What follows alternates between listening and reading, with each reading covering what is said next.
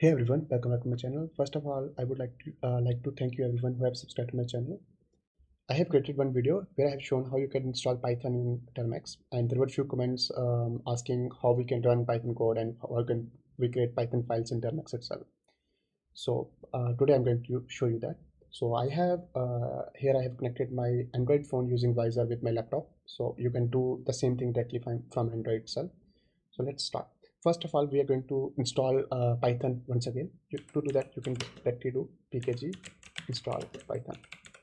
So if you have already not installed, then only you can run this command. I have already done that. It will not take much time. It will just check it. So yeah, it's there. Now to run uh, the Python playground, you can type Python and just you will enter into Python keyboard. So here you can uh, practice your code and write a few codes. For example, let's write a simple code. A equal to 1, B equal to 7 and print A plus B. Let's close this bracket. It will give, give the output. So in this way you can practice your code in this playground itself. But here the code will be temporary and it will not be saved. Once you exit it, it will be gone. So let's exit it. Now uh, to write a code, we need a text editor. So in Termux, in, in PC you have text editor, you can use VS Code and everything, but Termux we are going to use uh, Nano. So to install Nano in Termux, you can type pkg install and uh, it will check it and it will be installed. Uh, it, it takes just a few minutes to install. Uh, for me, it's already installed, so it's there. Now let's create a new folder mkdir uh, python underscore termux and let's go to python plus termux i think it has created yeah and now if i do ls here nothing is there now uh, to create a python file we just have to type nano and uh, let's say hello dot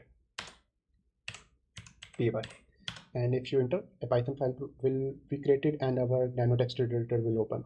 So now here we can write code. I'm just just going to write print hello world.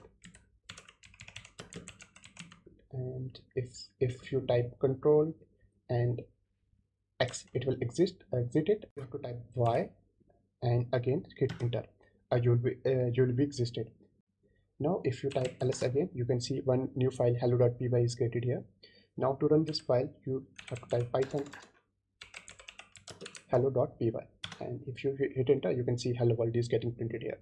Now let's create a new, little bit complex program where we, we are going to take user input. So let's uh, create one program as sum.py so nano sum.py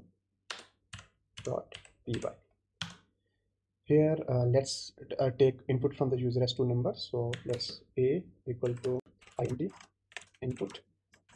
I think i have uh, this one stop it this one. Now b equal to int input. The second now let, let me type the first number on top. How uh, we will just print a plus b now if I type control X and again hit Y and again hit enter it will be exited now if I do ls there is uh, one program named as sum.py now let's run this program python sum.py now it's uh, asking to enter first number let's enter 12 33 yeah it's going to uh, giving the proper output.